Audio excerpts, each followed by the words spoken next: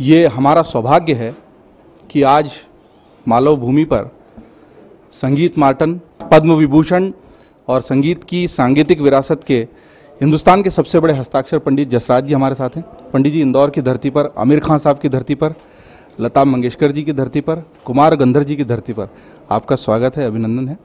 आपसे पहला सवाल पंडित जी यही है कि शुरुआती जो दिन थे आपकी गायकी से हिंदुस्तानी पूरी दुनिया परिचित है। शुरुआती जो दिन थे, आपके जो शुरुआती गुरु, आपके पिताजी का बहुत लंबा सानिध्य नहीं रहा, पर आप कहते हैं कुछ हल्की यादें हैं। वहाँ से और फिर ये मेवाती घराने का आपका जो जुड़ाव है, कुछ थोड़ी सी बात वहाँ से शुरू करना चाहेंगे आपके साथ? जय हो महाराज। मैं मेवाती घराने में पैदा ही हुआ हूँ। मेरे ग्रेट ग्रैंडफादर भी गाते थे। और मेरे उस्ताद का नाम जो हम, जिनसे ये घराना शुरू होता है, उस्ताद घगे नज़ीर खां साहब।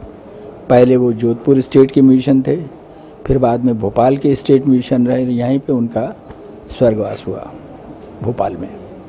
तो वो भी इस मध्य प्रदेश की भूमि में रहे, भूमि पे रहे। अब, और आपने तो बता दिया कि इतने बड़े बड़े उस्ताद और पंडित लोगों का जन्म और उनका सारी कुछ। जैसे कुमार गंधर जी का शायद जन्म तो नहीं हुआ वो तो कहीं कोंकण में पैदा हुए थे। वो यहाँ आके देवास में बस गए। मैं उनसे बड़ी अच्छी तरीके से परिचित था।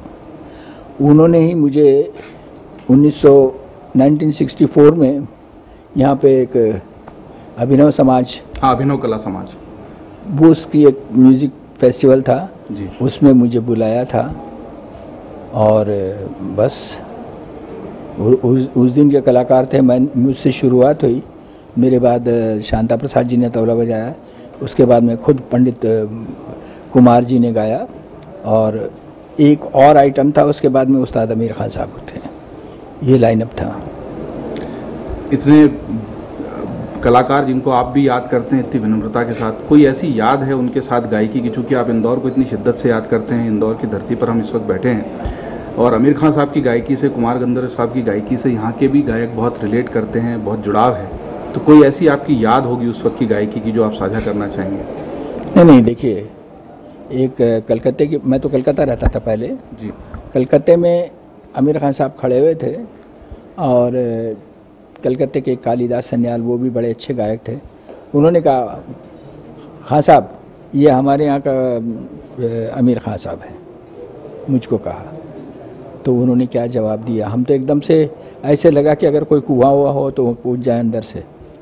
उन्होंने कहा देखो भैया किसी न किसी कलाकार के दिल में किसी न किसी कलाकार की मूर्त होती है तो इसमें कोई बहुत बड़ी बात इसमें मैं अपने आप को बड़ा नहीं समझता क्योंकि आज है कल दूसरे की आ जाएगी।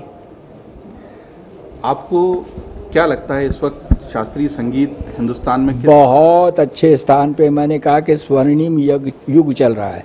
इसको आप डिनाई नहीं कर सकते। और ये चीज़ आप लोग छोड़ दीजिएगा कि संगीत के दिन ठीक नहीं है। वो वो ऊंचाई ऊंचाई की बात नहीं, वो ऐसा था कि उस ज़माने में चौदह, पचास घंटे लोग रियाज करके आते थे। तो उनकी तान, उनका ये मगर स्वर का जो लगाव है, वो आज भी वही है, कल भी वही होगा। और ये मतलब जिसको कहते हैं ना कि अमर गाना है। आपने लेकिन इसमें एक बहुत महत्वपूर्ण बात कह दी कि पहले 14 से 20 घंटे के रियाज का धैर्य भी था और उस्ताद के साथ उसको सीखने की आपके एक सुशिष्य भी हैं आज में। आज का और पुराना मैं हिसाब बता देता हूँ। उस ज़माने का गाना जो था ना उत्तंग था। एकदम शिखर Everest. Mount Everest mount Everest जैसा लोग गाना गाते थे। हिमालयी ऊंचाई थी। हाँ वो ऊंचाई भी थी। आज समुद्र के जैसा है। समुद्र के जैसा फैला हुआ है। आप किसको ऊँचा नीचा कहेंगे ये बताइए। लेकिन ये बात ज़रूर आती है कि शास्त्रीय संगीत पहले भी ज़्यादातर राज दरबारों में प्रश्रय पाता था और आज एलिट क्लास तक बहुत हद तक सीमित है। नहीं नहीं एलिट क्लास तक सीमित नहीं है। ऐसे लोग जिनके पास पैसा है और अपने को शौक से जोड़ने की खातिर कुछ महफिलों में वो शास्त्रीय संगीत के श्रोता बनते हैं। कुछ लोग हैं जो जेनविनली जुड़े हैं नहीं, नहीं, नहीं, नहीं, लेकिन फिर भी मासेस तक नहीं पहुँच पाया। एक बात जो पढ़ाई लिखाई में आ जाता है वो यूनिवर्सिटी तक कितने लोग जाते हैं? पीएचडी तक कितने जाते हैं? तो वैसे क्यों नहीं सोचते आप? ये हमारा शास्त्रीय संगीत है भले ही वो इलिट लोगों में बैठने के लिए चले आए। आते तो हैं। आने दीजिए। और एक बात मैं आपको बताऊँ कि एक बार कोई अच्छे शास्त्रीय संगीत के गायक या वादक के इसमें आ जाए, वो फिर से मुड़कर ऐसा नहीं कहेगा कि मेरी गलती हुई, मैं नहीं जाऊँगा। ज़रूर आएगा फिर से। संगीत की ऊंचाई से बात हुई थी पंडित जी, और उसमें एक ज़िक्र है आपके गायन का, छियानवे का बनारस का। कि आप गा रहे थे और कोई हिरन वहाँ पर। और ये कहा जाता है कि पुराना 87 की। अच्छा। और वो मैं बनारस में गा रहा था ये संकट मोचन हनुमान मंदिर जहाँ पे दस बारह आदमी हज़ार की महफिल होती है लोग रात भर बैठे रहते हैं शाम आठ बजे से लेके सुबह सात बजे जब तक प्रोग्राम चलता बैठे रहते हैं। और हम सुबह सुबह गा रहे थे। कुछ कुदरत समझिए क्या समझिए कि करीब उस टाइम पे पाँच साढ़े पाँच छः हज़ार आदमी बैठा हुआ था सामने। उनमें आके एक हिरन खड़ा हो गया।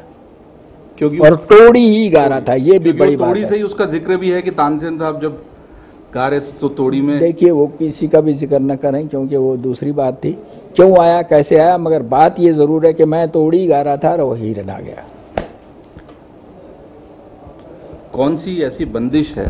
आपकी तमाम बंदिशें आपके सुनने वालों में बहुत लोकप्रिय जो आपके दिल के सबसे करीब है। बहुत सारी बंदिशें हैं। जिस टाइम पे जो जम जाए और वो समय समय के अनुसार दिल को लगती है। मेरी छोटी बच्चियाँ आपका शिव पंचाक्षर जब सुनती हैं नागेंद्र तो वो दूसरी कार्टून भी देख रही होती है टीवी पे तो बंद करवा देती। है कुछ भी और कर रही होती है तो बंद करवा देती। हैं। ये सुसंस्कार की बात है। ये आपके घर का संस्कार है जिस जो आपने उनको प्रदान किया बच्चों को। पहले आपने कई जगह कहा है कि मैं अपने सुरों में स्वर में आलाप में ईश्वर को खोजता हूँ। कई जगह कहा भी गया है कि संगीत जो है वो ईश्वर से जोड़ता है। थेरेपी के रूप में भी बहुत इस्तेमाल किया जाता है। किसी ने मुझे आज दिन में किस्सा सुनाया जब मैं सुन रहा था आपके कुछ भजन और कह रहा था कि पंडित जी से मिलने जाना तो उन्होंने कहा कि संगीत में तो ऐसा था कि पहले पखावज के ऊपर आटा लगा के उसको बजाते थे और उससे जो खिरा हुआ आटा है उससे टीबी का इलाज होता था। किसी ने मुझे किस्सा बताया। ये तो पहली बार सुन। मैंने भी आज किसी से ये पहली बार सुना। तो अलग अलग हिंदुस्तान के संगीत की ताकत और किस्से आपका ये जो ईश्वर से साक्षात्कार वाला बात है संगीत के सुरों के माध्यम से। है ना? देखिए, मैं जब गाता हूँ, कोई कोई बंदिश गा रहा हूँ, समझ लीजिए किसी कृष्ण जी के बारे में, ज़्यादातर कृष्ण जी के बारे में ही गाता हूँ। वो बंदिश को मैं पेश कर रहा हूँ तो मुझे वो 70 एम mm का जैसा पिक्चर का जो है, वो शुरू हो जाता है सामने, और मुझे दिखता है कि ऐसे ऐसे कर रहे हैं, ये कर रहे हैं, और मैं गाते रहता हूँ। आप ईश्वर से साक्षात्कार करते हुए उस बंदिश को पूरा करते हैं। ये तो पता नहीं है कि मगर वो 70 एम में सच में दिख जाते हैं। एक मगर ये बहुत बार नहीं होता है। ये रेयरली होता है रेयरली होता है। और जो होता है वो अद्भुत अनुभव होता है। वो तो अद्भुत होता है है। एक बहुत बार गला रूंद जाता है। अगर कुछ नहीं दिखा और आपने गाना गाया कोई अच्छा स्वर लग गया एक ही स्वर से बहुत कुछ दिखता है और वहाँ गला बंद हो जाता है। दो सवाल और हैं। एक तो ये कि आपकी श्रीमती जी का बहुत ज़िक्र आया आदर के साथ दुर्गा जी ने अपनी माँ को याद किया था कि उन्होंने बताया पिता क्या हैं। एक ज़िक्र मैंने कहीं पढ़ा था कि आपने कोई सब संगीत की आपकी सभा थी बंदिश गई फिर मंच के पीछे आके उन्होंने तारीफ़ की और वहाँ से ये सिलसिला आगे बढ़ा और आप दोनों की उम्र भी उस वक्त कोई बहुत ज़्यादा वो सिलसिले तो देखिए हर एक की ज़िंदगी में कुछ न कुछ आते हैं।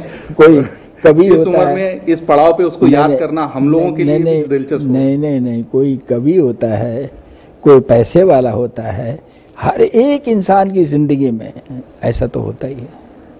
उस किस्से का आपके भी हुआ? हाँ मैं मेरी भी श्रीमती मुझे मेरे अखबार के दफ्तर में मिली और उसके बाद से बस बस। तो अपने किस्से को याद कर लो उसको इधर उधर घुमा फिरा के वैसे ही आपका किस्सा हम थोड़ा सा कि क्या बात हुई थी उस वक्त? ये तो डॉक्यूमेंटेशन भी है। वो बात बात तो अभी हमें याद नहीं मगर कुछ तो ज़रूर उन्होंने तारीफ़ की हमारे गाने की। बस। वहाँ से सिलसिला शुरू हो गया। वहाँ से सिलसिला शुरू हुआ या नहीं हुआ ये तो पता नहीं। पर हुआ तो। हुआ तो सही। कुछ कुछ हुआ। वो हमारे दो भतीजे हैं ललित जतिन। हम्म। सगे मेरे बड़े भाई साहब के बेटे हैं पंडित प्रताप नारायण जी के। तो उनका म्यूज़िक है वाह कुछ कुछ होता है। वैसे ही कुछ कुछ हुआ।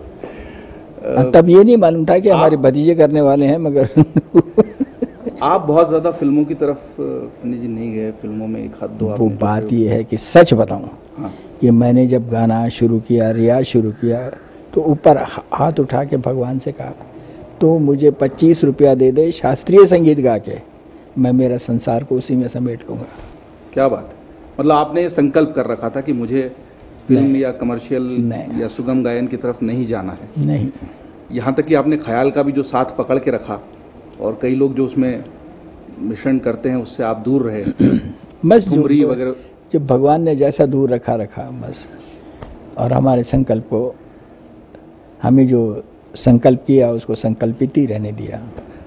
दुर्गा जी के पास आऊँ जलसा के लिए उसके पहले एक आखिरी मेरा सवाल यह है कि जो नए गायक हैं उनमें कौन आपको ज़्यादा संभावनाशील शास्त्रीय देखिए इस वक्त तो राशिद सबसे ज़्यादा नज़र आता है।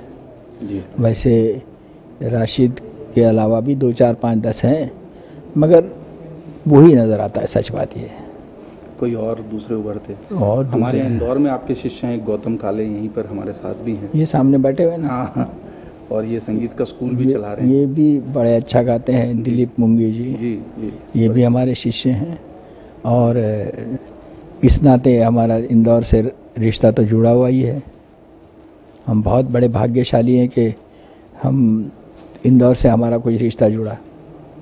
जो आ रहे हैं अभी शास्त्री गायन में उनको क्या आप संदेश देना चाहेंगे? देखिए मैं अपने आप को इतना बड़ा नहीं समझता हूँ कि मैं उनको एडवाइस करूँ या कुछ संदेश दूँ सच में। या आपका बस माँ बाप को बहुत ही उनकी सेवा करो उनको बहुत सम्मानित करो उनके दिल को दुखाओ नहीं और गुरु को भी उसी स्थान पे रखिए बस। एक सवाल ख्याल में आया आप जगजीत सिंह के भी बड़े मुरीद इंदौर में उनकी सभाएँ बहुत सुनी आपका उनका बहुत परिचय भी रहा साथ भी रहा। आपने कहीं ज़िक्र किया था उनसे आपकी बातचीत और दोस्ती का? क्योंकि पॉपुलर गज़ल जो है उनके माध्यम से उनकी फ़िल्मों के माध्यम से बहुत पहुँची तो कुछ आप याद करना चाहेंगे उनके साथ जो? जगजीत सिंह जी जो थे ना उनका नाम यथा नाम तथा गुणा था। जग को जीत के रख दिया उस इंसान ने। और उस टाइम पे ऐसे कलाकार थे पाकिस्तान के मेहदी हुसैन गुलाम अली गुलाम अली तो आज भी बेचारे हैं। तो उनके बीच में से निकल जाना।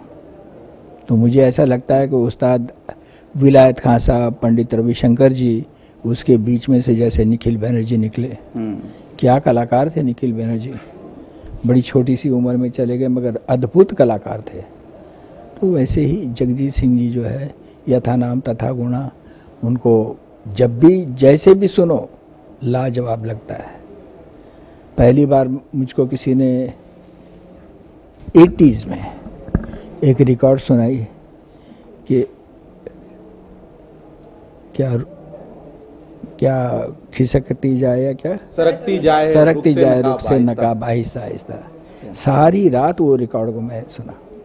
सरकती जाए रुख से नकाब आहिस्ता। हाँ जी। बहुत पॉपुलर गज़ल है उनकी। बहुत ही ऐसा लग रहा था कि सच में ये इंसान जो गा रहा है तो जैसे मैंने कहा ना कि मुझे ऐसे कैनवस पे वो दिखता है। वैसे ही ऐसा लग रहा था कि आहिस्ता आहिस्ता आहिस्ता नकाब सरक गई।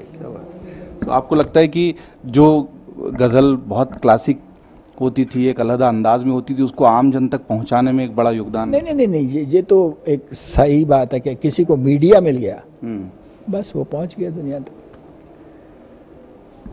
हम उम्मीद करते हैं कि इंदौर शहर को एक बार फिर बहुत बढ़िया उम्दा बंदिशें पंडित जी की हमको सुनने को मिलेंगी। इस काल में जो लोग हैं, ज़िंदा हैं और जिन लोगों ने साक्षात पंडित जी को सुना है, शायद उनको ईश्वर की आराधना अलग से करने की ज़रूरत नहीं है। हम सब सौभाग्यशाली हैं कि इस काल में पंडित जी के गायन को रूबरू सुनने का हम सबको सौभाग्य मिला है। हम एक बार फिर संगीत मार्तंड पद्म विभूषण पंडित जसराज जी के बहुत आभारी हैं इस बातचीत के लिए और ख़ास तौर पर उन सारे श्रोताओं की ओर से जिनको आपने इस संगीत से नवाजा है आ, हम कामना करते हैं कि आपकी आवाज़ आपका ये सुर हमारे साथ लगातार बना रहे। जय हो महाराज जय हो करनी जी आपके। जय हो। Thank you